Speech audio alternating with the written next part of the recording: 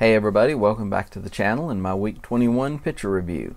This week we've got a red bird, a cloudy moon, some star trails, and we put up hay this week. So let's get into it.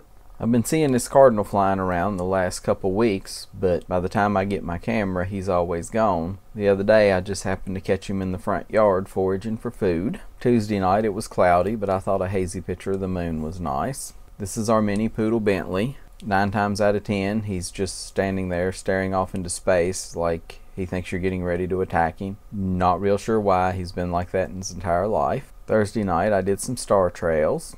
That's Polaris in the upper left. Friday night, the fireflies were out, so I done another star trail exposure, hoping that I could get some trails from the fireflies as well, but unfortunately, at such a wide angle, they just look like little green dots all over everything. I still thought it was a cool picture though. This is our farm dog. She sleeps in the most random positions. I wish I slept that good. And we put up square bales Saturday, so this is a picture of the hayfield Sunday after we got all the hay off of it. I like a nice empty hayfield. It means I don't have to worry about it until the fall. And that'll do it for this week. We'll see y'all in the next one. Bye.